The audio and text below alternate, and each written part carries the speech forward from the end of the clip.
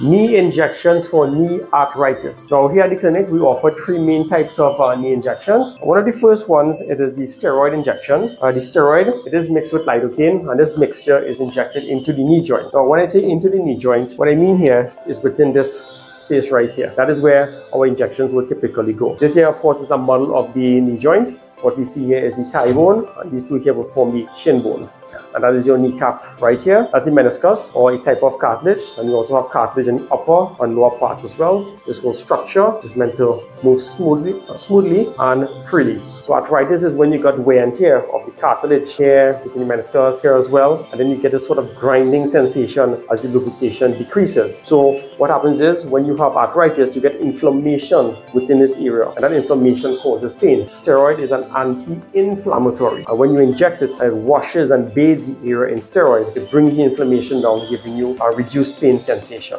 Also additionally, we can do PRP. PRP, it is when we draw blood, draw out your own blood, put it in a centrifuge uh, such as this here, okay? And the centrifuge, we put it on certain settings, speed and timer settings. The centrifuge is gonna spin and then it's going to um, separate the blood into two layers, the plasma at the top and the blood cells at the red blood cells at the bottom. This here is just a counterbalance, but this is a PRP tube. And when it spins down, you're gonna get a, a top layer that is yellowish in color, that is where the platelets and plasma, and then below the gel is you're gonna have the red blood cells So this is a counterbalance um, to a, a second tube that you put inside the centrifuge. Okay, and then that is pulled up into a syringe, and then that as well too is injected within the joint space. And the healing factors help with the um, regeneration of cartilage. Not a full regeneration a partial regeneration of cartilage in some people. So that is what platelet rich plasma or plasma injections are about. Then there is the gel injection. This here is a 2 milliliter syringe with the gel. Okay so what is the gel injection about? So coming back to the knee joint this whole structure here it is encapsulated of course in this anatomical figure. It's all open. But besides the cartilage there's also what is called synovial fluid lubricating and cushioning fluid that is within the knee. And as uh, you get older, as an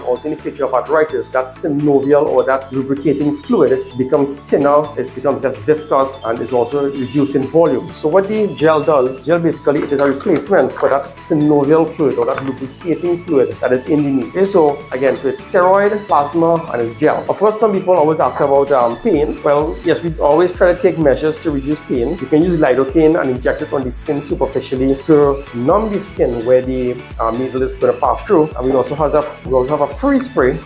Okay, the freeze spray here you spray it again, it gets air very cold and it gives us about a 30 second window of numbness where we can actually um, put the needle in with minimal pain. Okay, so we, we try to make the experience as pain, uh, pain free as possible. I'm not saying it's pain less, but we do take measures to help you um, to, to, make the experience as, um, as tolerable as, as possible. Okay, so steroid, plasma, gel, uh, these can be used for knee arthritis. So if you need any help, uh, you want an appointment, you want to speak to a doctor, uh, call 747 5297 308-3370 in Chin Chin Road in Cunupia. Those numbers are also on WhatsApp. You have any x-rays, you have digital x-rays, you can send those pictures to our WhatsApp. You have the films, just hold the films up in light or next to window. Um, take some take some decent shots, send them on WhatsApp and we'll do our best to advise you from there.